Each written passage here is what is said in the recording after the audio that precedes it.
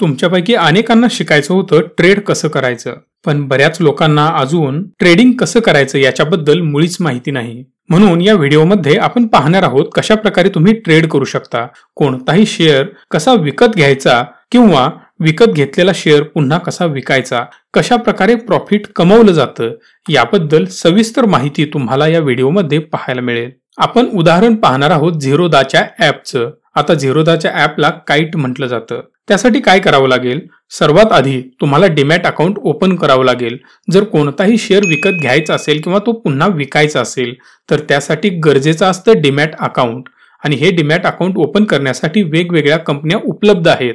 तर कोणती कंपनी तुमच्यासाठी बेस्ट असेल किंवा कोणत्या कंपनीकडून तुम्हाला जास्त फायदा मिळणार आहे त्या कंपनीची निवड करून त्यामध्ये एक डिमॅट अकाउंट तुम्ही ओपन करू शकता. त्याची संपूर्ण माहिती डिस्क्रिप्शनमध्ये दिलेली आहे. वेगवेगळ्या कंपन्यांची माहिती तुम्हाला डिस्क्रिप्शन बॉक्समध्ये पाहायला मिळेल. जर तुम्हाला ट्रेडिंग करायचं असेल वेगवेगळे शेअर्स विकत घ्यायचे असतील आणि पैसे कमवायचे असतील तर लवकरात लवकर डिस्क्रिप्शनमध्ये दिलेल्या एका लिंकवर क्लिक करून डिमॅट अकाउंट ओपन करा. प्ले स्टोअरवर गेल्यानंतर फक्त काईट नावाचं ॲप तुम्हाला सर्च करायचं आहे. जसं हे सर्च कराल काईट बाय झिरोदा हे लिहिलेलं ऍप्लिकेशन तुम्हाला पाहायला मिळेल. त्याला इन्स्टॉल करावं लागेल. हे ॲप मी ऑलरेडी इन्स्टॉल केलं आहे त्यामुळे मी पुन्हा ते इन्स्टॉल करणार नाही. डायरेक्ट मला ओपन करण्याचा ऑप्शन दिसतोय. त्यामुळे मी त्यावर क्लिक करून ॲप ओपन करतोय. जसं या ॲपमध्ये एंट्री होईल तेव्हा तुम्हाला वॉचलिस्ट पाहायला मिळेल. एक दोन तीन चार आणि पाच. अशा वेगवेगळ्या वॉचलिस्ट आहेत. या प्रत्येक वॉचलिस्टमध्ये टोटल पन्नास कंपन्या ऍड करू शकता. वेगवेगळ्या प्रकारच्या पन्नास कंपन्या या पाच वॉचलिस्टमध्ये ऍड करू शकता. म्हणजेच टोटल पन्नास कंपन्यांवर तुम्ही वॉच ठेवू शकता. जसं ऑलरेडी तुम्ही पाहताय मी बऱ्याच कंपन्या यामध्ये ऍड केलेल्या आहेत. ज्यावेळी मला एखादी कंपनी ऍड करायची असेल तुम्ही जेव्हा हे ॲप इन्स्टॉल कराल त्यावेळी पूर्ण वॉचलिस्ट ब्लँक असेल. तेव्हा तुम्हाला जर एखादी कंपनी ऍड करायची असेल तर त्या कंपनीला तुम्ही सर्च करू शकता. उदाहरणार्थ मी सर्च करतोय रिलायन्स. ज्यावेळी रिलायन्स सर्च कराल त्यावेळी तुम्हाला त्याचे वेगवेगळे ऑप्शन्स दिसतील. म्हणजेच एन एस सी किंवा बीएससी नॅशनल स्टॉक एक्सचेंज किंवा बॉम्बे स्टॉक एक्सचेंज तुम्हाला कुठून ट्रेड करायचं आहे हे तुम्हाला निवडावं लागेल. जर समजा मी एन एस सीचा रिलायन्स निवडतोय त्यामध्ये ऑलरेडी ग्रीन टिकमार्क दिसतोय. याचा अर्थ आधीच मी या रिलायन्सचा स्टॉक वॉचलिस्टमध्ये ऍड केला आहे. जर तुम्हाला बीएससीचा ऍड करायचा असेल तर प्लसवर क्लिक करावं लागेल. जसं प्लसवर क्लिक कराल तसं तो वॉचलिस्टमध्ये ऍड होईल. ऍड केल्यानंतर फक्त बॅकस्पेसवर क्लिक करा किंवा बॅक जाण्यासाठी जो ऑप्शन आहे त्याच्यावर क्लिक करू शकता. जसं तुम्ही पाहत आहात रिलायन्स बीएसई हा ऑलरेडी आपल्या वॉचलिस्टमध्ये ऍड झालेला आहे. त्यावर क्लिक करून संपूर्ण माहिती तुम्हाला त्याची पाहायला मिळेल. Buy sell view chart create GTT market depth open high low close या सर्व गोष्टी तुम्हाला यामध्ये पाहायला मिळतात. बर बाय म्हणजे काय? तर तुम्ही कोणताही शेअर खरेदी करू शकता. सेल म्हणजे कोणताही शेअर तुम्ही विकू शकता. आता बाय आणि शेअर आपण थोड्या वेळातच पाहणार आहोत. त्याच्या आधी त्याचा चार्ट पाहू. व्ह्यू चार्टवर जेव्हा क्लिक करता त्यावेळी संपूर्ण चार्ट तुमच्यासमोर ओपन होतो. या चार्टमध्ये वेगवेगळी माहिती उपलब्ध असते. जसं की one day five day one month one year अशा प्रकारे तुम्ही तो चार्ट पाहू शकता. खाली दिसत आहे महिना किंवा तारीख आणि व्हर्टिकली पाहायला मिळेल त्याची प्राइस. नऊशे एक हजार अकराशे बाराशे तेराशे अशी प्राइस वाढत गेली आहे. ज्या दिवशी प्राइस कमी असेल तेव्हा तो ग्राफ खाली आलेला दिसेल. आणि ज्या दिवशी त्याची प्राइस वाढत जाते तसा तो ग्राफ सुद्धा वाढत जातो. यावरून तुम्ही बेसिकली अनालाइज करू शकता कोणत्या वेळी हा ग्राफ कमी झाला किंवा कोणत्या वेळी हा ग्राफ वाढत गेला. याचाच अर्थ किंमत कधी कमी होते आणि कधी वाढत जाते हे यावरूनच तुम्हाला सविस्तरपणे समजून येईल. जसं मी तुम्हाला बोललो होतो वन इयर सुद्धा तुम्ही सिलेक्ट करू शकता वन मंथ सिलेक्ट करू शकता ज्याद्वारे तुम्हाला फक्त एक महिन्याचा चार्ट पाहायला मिळेल. आणि जर वन डे सिलेक्ट केला तर एका दिवसामध्ये हा शेअर किती वर खाली होतो किंवा त्याची किंमत किती कमी झाली किंवा किती जास्त झाली हे तुम्हाला पाहायला मिळेल. आता चार्टची स्टाईल सुद्धा बदलता येते. तो बार चार्ट हवा की कॅन्डल चार्ट हवा? लाईन हवा की बेस लाईन हवा अशा वेगवेगळ्या प्रकारचे चार्ट तुम्हाला यातून पाहायला मिळतील. जसं तुम्हाला कस्टमाइज करायचं आहे तसं तुम्ही त्याला करू शकता. जर समजा हा शेअर तुम्हाला बाय करायचा असेल तर त्यासाठी बाय ऑप्शनवर क्लिक करा. जेव्हा बाय ऑप्शनवर क्लिक करता तेव्हा पहिली गोष्ट एंटर करावी लागते ती म्हणजे क्वांटिटी तुम्हाला यातून किती क्वांटिटी बाय करायची आहेत? दहा वीस तीस चाळीस शंभर ज्या काही क्वांटिटी असतील त्या तुम्ही ऍड करू शकता. समजा मला दहा क्वांटिटी बाय करायचे आहेत. सध्या मार्केट रेट सुरू आहे तेराशे त्रेसष्ट पॉइंट पस्तीस रुपये. जी प्राइस तुम्हाला इथे पाहायला मिळते. सीएनसी कॅश अँड कॅरी जर तुम्हाला एखादा शेअर लॉंग टर्मसाठी होल्ड करायचा असेल आज परचेस केलेला शेअर एक दिवसापेक्षा जास्त जर तो दोन दिवसांनी चार दिवसांनी किंवा महिन्यानी किंवा वर्षांनी विकायचा असेल तर त्याला सीएनसी मधून परचेस करावं लागेल ज्याला आपण कॅश अँड कॅरी म्हणतो. त्यामध्ये पुढचं ऑप्शन आहे M I S M I S म्हणजे margin intraday square off. Square off म्हणजे विक्री करणे. आणि जसं मार्जिन इंट्राडे बद्दल तुम्हाला माहिती असेलच एखादा शेअर आज बाय केल्यानंतर आजच त्याची विक्री करणे. जसं शेअर मार्केट बंद होतं साडेतीन वाजता तर साडेतीन वाजायच्या आधी तो शेअर विकणे खूप गरजेचे असते. जर तो शेअर साडेतीनच्या आधी तुम्ही विकू शकला नाही तर आपोआप त्याची पोझिशन स्क्वेअर ऑफ होईल. म्हणजेच आपोआप तो शेअर विकला जाईल. मग साडेतीन वाजता जी काही प्राइस असेल त्या प्राइजला तो शेअर विकला जाईल. त्याच्याखाली वेगवेगळे ऑप्शन तुम्हाला पाहायला मिळतात. जसं ऑर्डरमध्ये आहे मार्केट. मार्केटमध्ये काय होतं? जी प्राइस मार्केटला सध्या सुरू आहे जसं आपण रिलायन्सचा आता पाहतोय तेराशे त्रेसष्ट पॉईंट पस्तीस रुपये. या प्राइसला तुमच्या दहा क्वांटिटी परचेस केल्या जातील. पण जर तुम्हाला तुमच्या रिक्वायरमेंटनुसार परचेस करायचं असेल जसं की त्याला लिमिट आपल्याला ऍड करायचं असेल जर तेराशे त्रेसष्ट रुपयाला परचेस न करता जर त्याची किंमत चेंज करून तेराशे रुपये करायची असेल तर तुम्ही ती करू शकता. ज्यावेळी त्या शेअरची किंमत तेराशे रुपये होईल त्यावेळी तो शेअर ऑटोमॅटिक परचेस केला जाईल. त्यासाठी या लिमिट ऑर्डरचा वापर केला जातो. जसं स्टॉप लॉस एस एल या स्टॉप लॉस लिमिटमध्ये काय होतं? जसं आपण ऑलरेडी पाहिलं परचेस करण्याचं लिमिट तर आपण एक ठराविक ठेवू शकतो. पण जर तो शेअर कंटिन्युअस डाऊन होत गेला त्याची किंमत कमी होत गेली तर मात्र खूप मोठ्या नुकसानीला सामोरं जावं लागेल. जर समजा तेराशे त्रेसष्ट रुपयाचा शेअर एक हजार रुपये झाला तर तीनशे त्रेसष्ट रुपये प्रति शेअर तुमचं नुकसान होईल. पण जर हेच नुकसान तुम्हाला होऊ द्यायचं नसेल एक कॅल्क्युलेटेड रिस्क घ्यायची असेल तर त्यासाठी स्टॉप लॉस खूप गरजेचा असतो. कॅल्क्युलेटेड रिस्क घेणारा व्यक्ती पहिला स्टॉप लॉस सेट करतो. जसं तेराशे त्रेसष्ट रुपये किंमत असणाऱ्या शेअरमधून जर त्याची किंमत तेराशे पंचावन्न पर्यंत पोहोचली तर ती ऑर्डर स्क्वेअर ऑफ होईल. म्हणजेच ऑटोमॅटिकली तो शेअर विकला जाईल. तेराशे पंचावन्नला तो शेअर विकला जाईल. त्यानंतरचा ऑप्शन आहे S L M stop loss market जर एखादा शेअर तुम्हाला ठरवलेल्या किमतीमध्ये विकायचा असेल ती प्राइस हिट झाल्यानंतर ऑटोमॅटिकली शेअर विकावा अशी जर तुमची इच्छा असेल तर ट्रिगर प्राइस एक सेट करू शकता. जसं मी सेट केली आहे तेराशे साठ रुपये. ज्यावेळी त्या शेअरची किंमत तेराशे साठ रुपये होईल त्यावेळी ऑटोमॅटिकली तो शेअर स्क्वेअर ऑफ होईल. तो विकला जाईल. यामध्ये काही अजून ऍडव्हान्स ऑप्शन आहेत. त्या व्हरायटीमध्ये आपण आतापर्यंत पाहत होतो रेग्युलर ऑप्शन त्यानंतर ऑप्शन आहे बीओ बीओ म्हणजे ब्रॅकेट ऑर्डर यामध्ये सेट करू शकता स्टॉप लॉस आता जसं आपण मगाशी पाहिलं तेराशे पंचावन्न रुपये आपण स्टॉप लॉस सेट केला होता. अगदी तसंच इथे सुद्धा स्टॉप लॉस सेट करता येतो. त्यानंतर तुमचं टार्गेट या शेअरसाठी तुमचं टार्गेट किती असेल? तेराशे त्रेसष्ट रुपयांचा शेअर तेराशे सत्तर रुपयाला विकला जावा हे तुमचं टार्गेट असेल आणि ते तुम्ही सेट करू शकता. ज्यावेळी तेराशे सत्तर रुपये प्राइस हिट होईल त्यावेळी तुमचा शेअर ऑटोमॅटिक विकला जाईल. आणि ज्यावेळी तेराशे पंचावन्न पर्यंत शेअरची किंमत घसरत जाईल त्यावेळी तो शेअर पुन्हा विकला जाईल ज्यामुळे तुमचं होणारं मोठं नुकसान कमी होईल. म्हणूनच स्टॉप लॉसचा वापर करणे खूप गरजेचे आहे. जे लोक इंट्राडे करतात त्यांना मी नेहमी स्टॉप लॉस लावण्यासाठी रिकमेंड करतो. त्याच्याखाली ऑप्शन येतो ट्रेलिंग स्टॉप लॉस यामध्ये जेवढी अमाऊंट ऍड कराल तेवढी तुमच्या स्टॉप लॉस मधून मायनस होईल.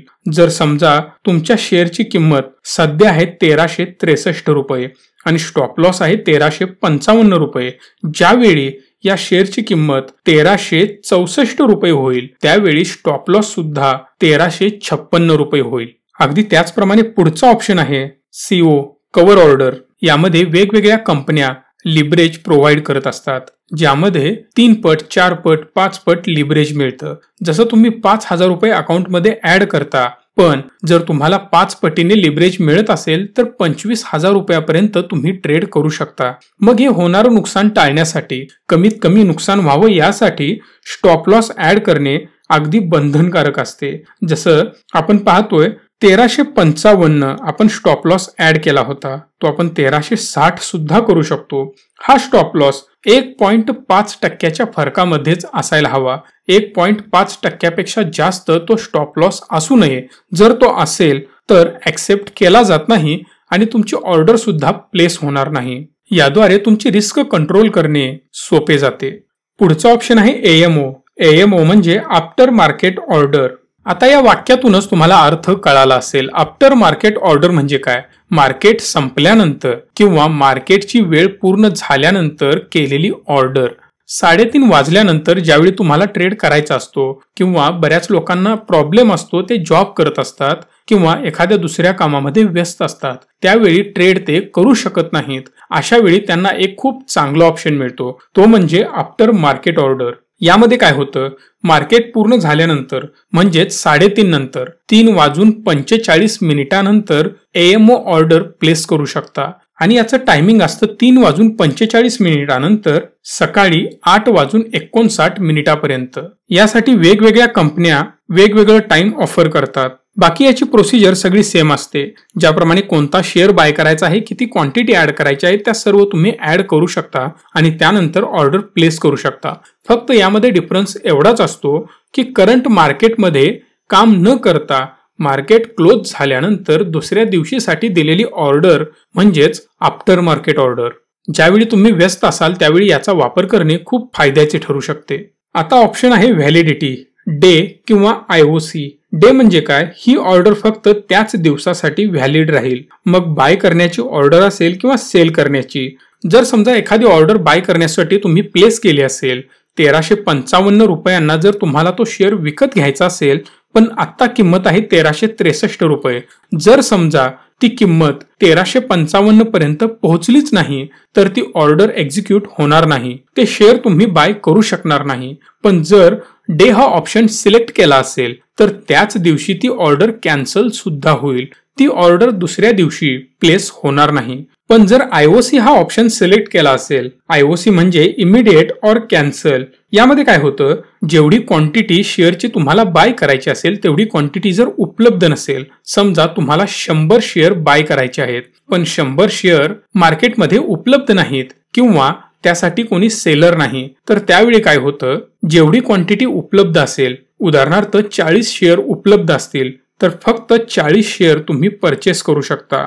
त्या चाळीस शेअर मधून शिल्लक राहिलेले साठ शेअर ऑटोमॅटिकली कॅन्सल होतील. म्हणजेच शंभर पैकी चाळीस ऑर्डर एक्झिक्यूट होईल आणि साठ क्वांटिटी ही कॅन्सल होईल. कारण रेग्युलर ऑर्डरमध्ये काय होतं ज्यावेळी शंभर शेअर तुम्ही परचेस करणार असता आणि शंभर क्वांटिटी जर उपलब्ध नसेल तर तुमची टोटल ऑर्डर कॅन्सल होते. पण ज्यावेळी आयओसी सिलेक्ट केलं जातं त्यावेळी जेवढे शेअर उपलब्ध असतील किमान तेवढे तरी तुम्ही परचेस करू शकता. त्यानंतर शेवटी ऑप्शन असतो डिस्क क्वांटिटी याचा अर्थ काय? डिस्क्लोज क्वांटिटी यामध्ये जर समजा तुम्ही शंभर शेअर खरेदी करणार असाल पण तुम्हाला डिस्प्ले करायचे असतील चाळीस शेअर तर त्यावेळी याचा ऑप्शन वापरू शकता. म्हणजेच जेव्हा ती ऑर्डर दिसेल तेव्हा ती चाळीस क्वांटिटीची असेल. पण ऍक्च्युली तुम्ही बाय केला असणार शंभर क्वांटिटी या सर्व गोष्टी ऍड केल्यानंतर सिम्पली बाय किंवा सेलवर क्लिक करू शकता. ज्यावेळी तुम्ही बायवर क्लिक करून स्लाइड कराल त्यावेळी ऑटोमॅटिकली तो शेअर बाय होईल. आणि अगदी तसंच ज्यावेळी तो शेअर विकायचा असेल त्यावेळी सिम्पली शेअरवर क्लिक करावं लागेल. आणि जसं तुम्हाला मी सांगितलं ऑलरेडी त्याप्रमाणे सर्व इन्फॉर्मेशन त्यामध्ये पुटअप करावी लागेल. मग त्यासाठी लिमिट असेल किंवा करंट मार्केट प्राइसला सेल आउट करायचा असेल तर तो सुद्धा ऑप्शन तुम्ही निवडू शकता. आणि सेलवर जेव्हा तुम्ही स्लाइड करता तेव्हा तो शेअर सेल आउट होतो. पुढचा ऑप्शन आहे ऑर्डर ऑर्डरमध्ये दिसतात पेंडिंग क्वांटिटी ज्याप्रमाणे मी तुम्हाला म्हटलं होतं जर तुम्हाला आफ्टर मार्केट म्हणजेच मार्केट संपल्यानंतर काही ऑर्डर प्लेस करायचे असतील किंवा मार्केट सुरू असताना सुद्धा करंट प्राइस सोडून वेगळ्या प्राइसला काही परचेस किंवा सेल करायचा असेल तर तो शेअर तुमचा पेंडिंग लिस्टमध्ये येईल. पेंडिंग लिस्टमध्ये ह्यासाठी येईल कारण अजून तो स्क्वेअर ऑफ झालेला नाही. कारण त्या प्राइसला अजून तो शेअर टच केलेला नाही. ज्यावेळी तो शेअर परचेस होईल त्यावेळी तो एक्झिक्यूटमध्ये जाईल. एक्झिक्यूटमध्ये ज्या ऑर्डर तुम्ही बाय केल्या आहेत किंवा सक्सेसफुली कंप्लीट झाल्या आहेत त्या तुम्हाला यामध्ये पाहायला मिळतील. यामध्ये काय असतं? जसं तुम्ही पाहत आहात पॉवर ग्रीड एकशे बासष्ट रुपये त्याची किंमत होती आणि मी तो परचेस केला आहे. अशा प्रकारे वेगवेगळे शेअर्स तुम्ही बाय करू शकता जे तुमचे पूर्ण झाल्यानंतर एक्झिक्यूटमध्ये पाहायला मिळतील. कारण ती ऑर्डर ऑलरेडी तुमची एक्झिक्यूट झालेली असणार आहे. आता जीटीटी ऑप्शन हा काय आहे? हा सुद्धा खूप महत्त्वाचा ऑप्शन आहे. जीटीटी म्हणजे गुड टिल ट्रिगर यामध्ये वेगवेगळे ऑप्शन्स पाहायला मिळतात. जसं जर तुम्हाला एखादा शेअर खूप लॉंग टाइमसाठी होल्ड करायचा असेल जर तुम्हाला वाटत असेल जसा हा रिलायन्सचा आपण शेअर पाहतोय त्याची किंमत तेराशे त्रेसष्ट रुपये आहे. पण ऍक्च्युली जर मार्केट अजून डाऊन होणार असेल किंमत याची कमी होणार असेल आणि असा तुम्हाला अंदाज असेल तुमचा स्टडी तसं सांगत असेल तर काही दिवसानंतर परचेस करणं तुमच्यासाठी फायद्याचं ठरेल आणि त्यासाठीच हा जीटीटी ऑप्शन आहे. आता मला बाय करायचं आहे ट्रिगर टाईप आहे सिंगल आता ट्रिगर प्राइस काय असेल? समजा तुम्हाला वाटत असेल हा शेअर मला बाराशे रुपयांना ट्रिगर प्राइस ठेवायचा आहे. म्हणजेच बाराशे रुपये ज्यावेळी हा शेअर होईल त्यावेळी ही ऑर्डर ऍक्टिव्हेट होईल. पण बाराशे रुपयांना परचेस होईल का? नाही. तो कोणत्या प्राइसला परचेस व्हावा असं तुम्हाला वाटतं ती प्राइस सुद्धा तुम्हाला डिसाईड करावं लागेल. जसं की अकराशे नव्वद रुपये. म्हणजेच बाराशे रुपयाला येता क्षणी ती प्राइस ट्रिगर होईल. बाराशे रुपयाला ऍक्टिव्ह होईल. पण ज्यावेळी अकराशे नव्वद रुपयाला त्याची किंमत पोहोचेल त्यावेळी तो शेअर ऑटोमॅटिकली स्क्वेअर ऑफ होईल. म्हणजेच अकराशे नव्वद रुपयाला विकला जाईल. पण बाराशे रुपये किंमत असते त्यावेळी तो शेअर विकला जातो का? नाही. त्यावेळी फक्त ऑर्डर ऍक्टिव्ह होते. आणि जर ती अकराशे नव्वद पर्यंत पोहोचलीच नाही तर मात्र तो शेअर स्क्वेअर ऑफ होत नाही. शेअर विकला जात नाही किंवा परचेस केला जात नाही. जसं बाय करू शकता तसं सेल सुद्धा करू शकता. त्याला सुद्धा लिमिट ऑर्डर लावू शकता क्वांटिटी ऍड करू शकता आणि ट्रिगर प्राइस आणि सेलिंग प्राइस सुद्धा ऍड करू शकता. आणि ज्यावेळी या सर्व गोष्टी कंप्लीट होतील त्यावेळी क्रिएट जीटीटी करून स्लाइड करू शकता. जेव्हा जीटीटी क्रिएट होईल तेव्हा ऑटोमॅटिकली जीटीटी प्लेस्ड असा एक मेसेज येईल आणि तुमची ऑर्डर प्लेस होईल. जसे ऑप्शन असतात पेंडिंग एक्झिक्युटेड आणि जीटीटी जीटीटीमध्ये ऑलरेडी जी ऑर्डर प्लेस केली आहे त्याबद्दल सर्व माहिती पाहायला मिळेल. आणि तो रिलायन्सचा जो शेअर आपण जीटीटीमध्ये ऍड केला होता तो इथे पाहायला मिळतो. जीटीटी ऑर्डरच्या काही नियम आणि अटी असतात. पहिला मॅक्सिमम पन्नास ऑर्डर तुम्ही लावू शकता. किंवा जीटीटी ऑर्डर फक्त एक वर्षासाठीच व्हॅलिड असते. त्यानंतर पुढचा ऑप्शन असतो पोर्टफोलिओचा यामध्ये होल्डिंग्स आणि पोझिशन्स पाहायला मिळतात. आता होल्डिंग्स म्हणजे काय? जे शेअर तुम्ही परचेस केले आहेत आणि काही दिवसासाठी होल्ड केले आहेत. जे आपण लॉंग टर्मसाठी परचेस केले होते त्या शेअर्सना तुम्ही होल्डिंग्समध्ये पाहू शकता. जे शेअर्स तुम्ही शॉर्ट टर्मसाठी परचेस केले आहेत किंवा जे अजून होल्डिंगमध्ये कन्वर्ट झाले नाहीत जे तुम्ही आजच विकू शकता ते शेअर्स पोझिशन्समध्ये पाहायला मिळतात. जे लॉंग टर्मसाठी परचेस केले असतील ते सुद्धा काही वेळासाठी पोझिशन्स मध्येच पाहायला मिळतात. आणि दुसऱ्या दिवशी ते होल्डिंग्समध्ये कन्व्हर्ट होतात. म्हणजेच जर एखादा शेअर तुम्ही आज परचेस केला असेल आणि जर तो तुम्हाला लॉंग टर्म ठेवायचा असेल तरी सुद्धा तो आजच्या दिवशी पोझिशन्स मध्येच पाहायला मिळेल आणि दुसऱ्या दिवशी मात्र तो होल्डिंग्समध्ये पाहायला मिळेल.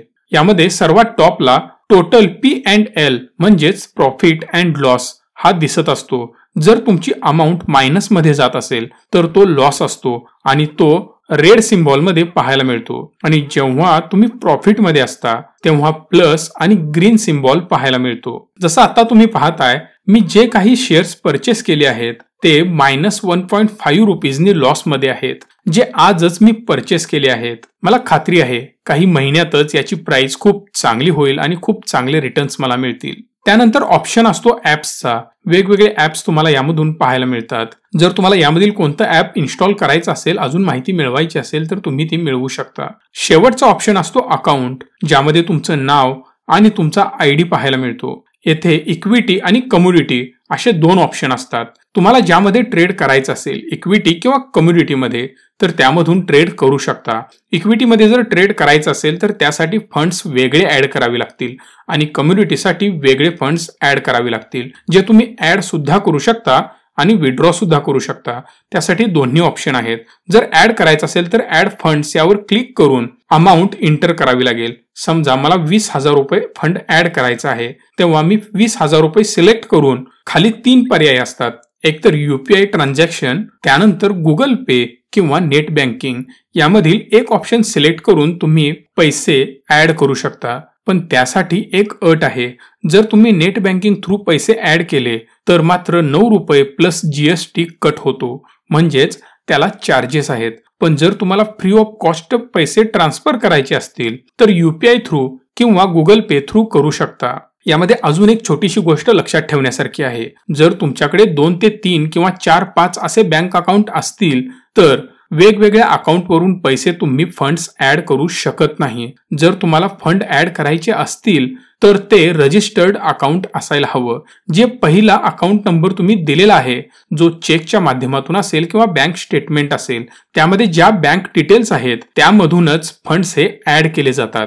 आणि ज्यावेळी फंड विड्रॉ करता अकाउंटवर ट्रान्सफर करता तेव्हा ते डिमॅट अकाउंट मधून तुमच्या बेसिक बँक अकाउंट मध्येच जातात जो बँक अकाउंट नंबर तुम्ही पहिला दिला होता.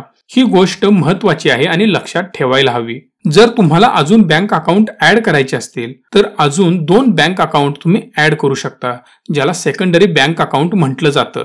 जर ते बँक अकाउंट पुन्हा तुम्ही लिंक केले तर मात्र त्या बँक अकाउंटवरून तुम्ही या डिमॅट अकाउंटवर पैसे ट्रान्सफर करू शकता. म्हणून ज्यावेळी ट्रेडिंग अकाउंट ओपन करता त्यावेळी लवकरात लवकर सेकंडरी बँक अकाउंट सुद्धा ऍड करून ठेवा. कारण बऱ्याच वेळा असं होतं दुसऱ्या अकाउंटवर पैसे असतात आणि जे मेन अकाउंट आहे त्यावर कधी पैसे संपलेले असतात. त्यानंतर दिसते प्रोफाईल प्रोफाईलमध्ये तुमची सर्व माहिती पाहायला मिळते. त्यानंतर setting console support invite friends user manual असे वेगवेगळे ऑप्शन्स यामध्ये आहेत. जे एक्सप्लेन करण्याची गरज नाही तुम्हाला पाहता क्षणी त्याबद्दल संपूर्ण माहिती मिळेल. जसं आपण शेअरबद्दल माहिती पाहत होतो त्यामध्ये वेगवेगळे चार्ट्स असतात पोर्टफोलिओ असतो त्याचा रिसर्च करायचा असतो. कशा प्रकारे टेक्निकल आणि फंडामेंटल डिटेल्स तुम्ही मिळवू शकता किंवा कशा प्रकारे एखादा शेअर बाय करावा हे समजून घ्यायचं असेल तर त्यासाठी मला एक डिटेल्ड व्हिडिओ बनवावा लागेल. तुम्हाला अजून शेअर मार्केटबद्दल कोणत्या शंका आहेत हे मला कमेंट करून कळवा. जर तुम्हाला आमचा ऑफलाईन कोर्स जॉईन करायचा असेल तर Marathi Sanket at the rate Gmail dot com या ईमेल आय वर तुम्ही मला कॉन्टॅक्ट करू शकता. तुमचं नाव गाव आणि फोन नंबर मला ईमेल करा. लवकरच आमची टीम तुमच्याशी संपर्क साधेल. सध्या आपला देश बंद असल्यामुळे कोणतंही वर्कशॉप आम्ही घेत नाही. जसं भारत सरकार सर्व बंधने हटवेल तसे आमचे पुन्हा वर्कशॉप सुरू होतील आणि तुमच्याशी संपर्क साधला जाईल. त्यामुळे फक्त तुमचे कॉन्टॅक्ट नंबर सेंड करून ठेवा. सर्व परिस्थिती नॉर्मल होताच आमच्याकडून तुम्हाला संपर्क केला जाईल.